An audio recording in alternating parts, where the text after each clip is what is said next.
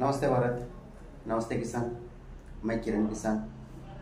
और बी किसान को आज लेकर आया हूँ मैं ओडिशा में।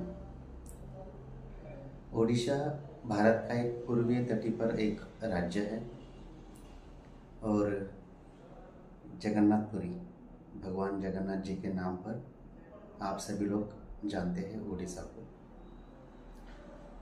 ओडिशा में हम बी किसान को लेकर आ रहे हैं। किसान पाठशाला यहाँ पर आ चुकी है और यहाँ पर हम करेंगे कुछ एक्टिविटी बी किसान केला, पपीता, कपास, सब्ज़ियाँ, ऐसे कई फ़सलें हैं जहाँ पर हम उड़ीसा के किसानों को मार्गदर्शन करने गाइडलाइन देने और उनके साथ काम करने के लिए यहाँ पर आ रहे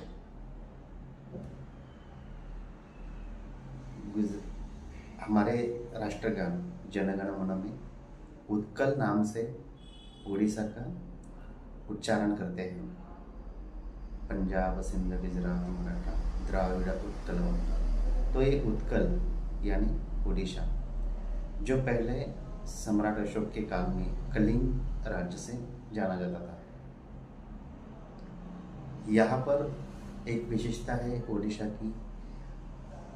पूर्वीय तटी पर एक समुद्र के किनारे एक समतल वातावरण है और जो बीच का छोटा नागपुर प्लेटो का जो एरिया है, वहाँ पर बहुत सारा डिफरेंस मिलता है वातावरण, जलवायु मिनिमम टेम्परेचर और सबसे हाईएस्ट टेम्परेचर भी आता है।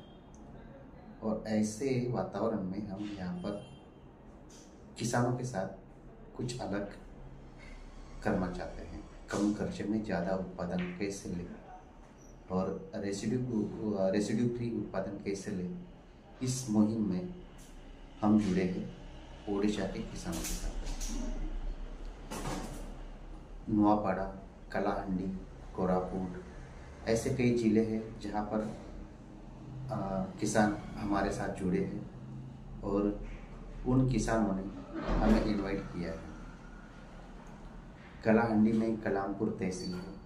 वहाँ पर एक किसानों का ग्रुप है। हमारे आशुतोष जी मुंड और शरद चंद्र जी।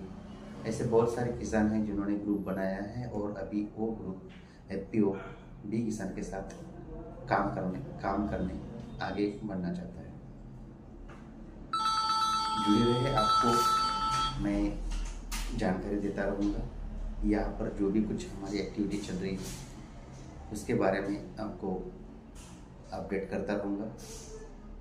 जुड़े रहे किसान, ओडिशा, बी किसान के साथ। धन्यवाद।